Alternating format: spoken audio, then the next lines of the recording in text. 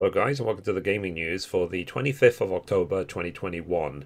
So Sony have confirmed that Canadian studio Jetpack Interactive are working on the PC port of God of War.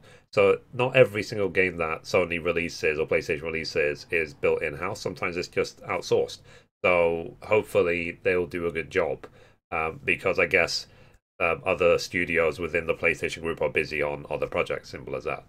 Um, the next bit of news for today is Fatal Frame Maiden of the Blackwater, which is coming out on the 28th of October, will include all DLC that was previously released within the remake. So you won't have to buy DLC separately. So I saw the trailer for it a while ago. I'm actually very interested because I never played it originally way back when when it came out. So um, hopefully the remake will be my chance to jump in. And then the last bit of news for today is the review embargo for Guardians of the Galaxy has literally just been uh, passed at something like 20 minutes ago of recording this video. So you can check out the reviews if you're curious about the game and so on. Like so far, the reviews seem quite favorable. So if you're still on the fence about Guardians of the Galaxy, check out the reviews, look at what different reviewers are saying, and so on. So, for example, IGN gave Guardians of the Galaxy an 8 out of 10.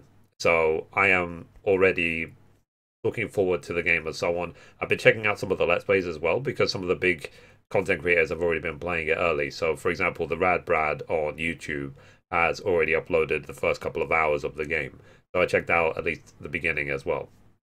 So, yeah. And tell me as well, what games are you looking forward to? Because there's so many games coming out imminently. So, yeah, and anyway, guys, that's it for the gaming news for today. Thank you so much for all the new followers on the feed. As always, I do really appreciate you. And I will see you tomorrow. Thanks, guys. Bye bye.